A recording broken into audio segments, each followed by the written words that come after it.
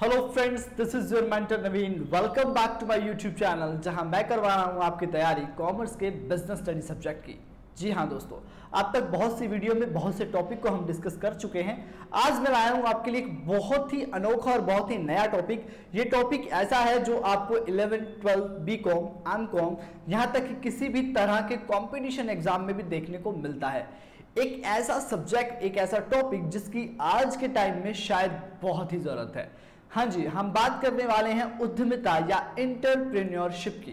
एक ऐसा स्किल एक ऐसा टैलेंट जो आज के यूथ्स में देखा जाता है बेसिकली कि वो अपना काम कितना चाहते हैं करना, वो अपना सेल्फ डिपेंडेंट होने के लिए अपना बिज़नेस अपने नए तरीके से करने के बारे में अगर सोच रहे हैं तो जी हाँ वो एक एंटरप्रेन्योर बन सकते हैं। आइए इस टॉपिक के बारे में थोड़ी सी डिटेल ले लेते हैं।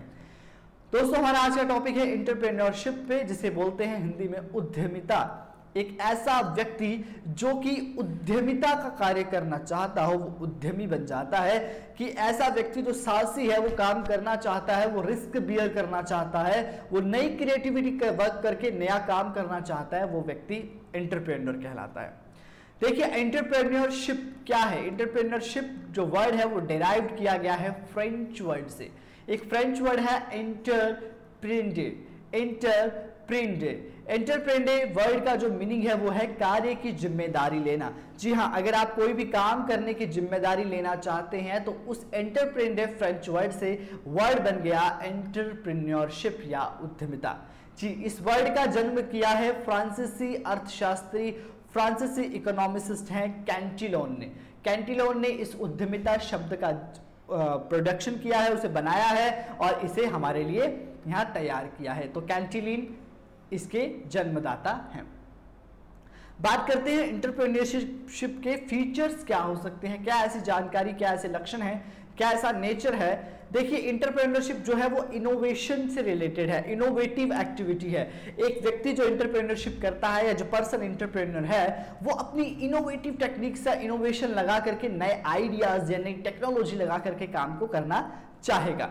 सेकंड हमारा जो नेचर है, वो है क्रिएटिव एक्टिविटी अगर वो इनोवेटिव है तो वो क्रिएटिव भी होना चाहिए, सृजनात्मक, रचनात्मक होना चाहिए व्यक्ति। उसकी सोच इस लेवल की होनी चाहिए। उसका सोचने का जो तरीका है, वो इतना वाइड होना चाहिए कि वो हर चीज़ को इतना क्रिएटिव वर्क करे, हर चीज़ को इतना अच्छा बनाकर चले कि उसे बेनिफिट भी हो और वो काम को नए तरीके से करना भी चाहेगा। थर्ड हमारा है ऑप्शन रिस्क बियरिंग जी, मैंने पहले ही बताया कि एक एंटरप्रेन्योर एक उद्यमी वही व्यक्ति है जो साहसी है, जो लीडर है, जो रिस्क लेना जानता है, जो रिस्क उठा करके काम कर सकता है और एक person a person who take risk in his life is really free from danger जितना ही आपका रिस्क होगा और उतने ही आपके बेनिफिट्स भी होंगे।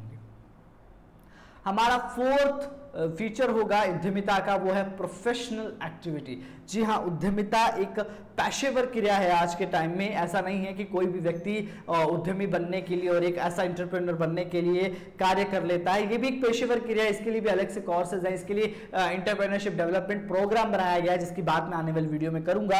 उस प्रोग्राम के तहत अब उद्यमी तैयार किए जाते हैं। इंटरप्रेन्योर तैयार किया जाता है। एक व्यक्ति के अंदर वो स्किल डाली जाती है, उसे निखारा जाता है और उसे काम करने के लिए रेडी कर दिया जाता है। तो ये एक प्रोफेशनल एक्टिविटी है, ऐसा हम कह सकते हैं। लास्ट बट नॉट लीस्ट पर यहाँ पर इसका उद्यमिता के फ्यूचर का लास्ट पॉइंट होगा, लेकिन उद्यमिता का कंसेप्ट अभी खत्म नहीं होता। अगली वीडियो में हम फिर बात करेंगे इसके बारे में। A process of searching opportunity जी हाँ इंटरप्रेन्योरशिप एक ऐसी प्रोसेस है जिससे आप नई अपॉर्चुनिटी को सर्च करते हैं, नई अपॉर्चुनिटी को खोजते हैं। तो ये है ओवरऑल इंटरप्रेनरशिप का प्रोग्राम एक कॉन्सेप्ट जो मैंने आपके सामने रखा। इंटरप्रेटेंडे से ये आया हुआ एक वर्ड इंटरप्रेन्योरशिप जो आपके अंदर एक ऐसी स्किल और एक ऐसी इनोवेशन टेक्नोलॉजी को रखता है, जिससे आप नए कार्य को नए तरीके से अपने काम को करना पसंद करते हैं। अगली वीडियो में बात करेंगे इस ईडीपी या इंटरप्रेनरशिप का क्या ज़्यादा महत्व रहा है, उसके बारे में बात करेंगे। अगली वीडियो में मिलते हैं नए टॉपिक के साथ, तब तक के लिए गुड बाय टेक केयर